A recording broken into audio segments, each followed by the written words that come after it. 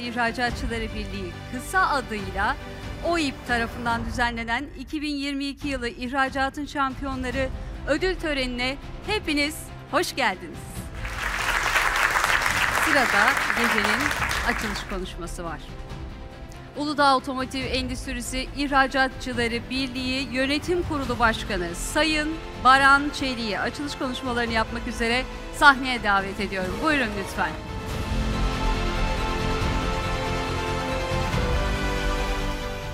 Sizleri şahsım ve Uludağ Otomotiv Endüstrisi İhracatçılar Birliği adına saygıyla selamlıyorum.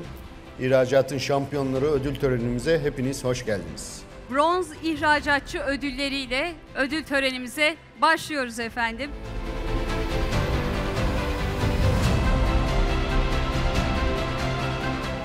Gümüş ihracatçı ödüllerine geçeceğiz. Devam edelim o zaman altın ihracatçı ödüllerini takdim etmeye.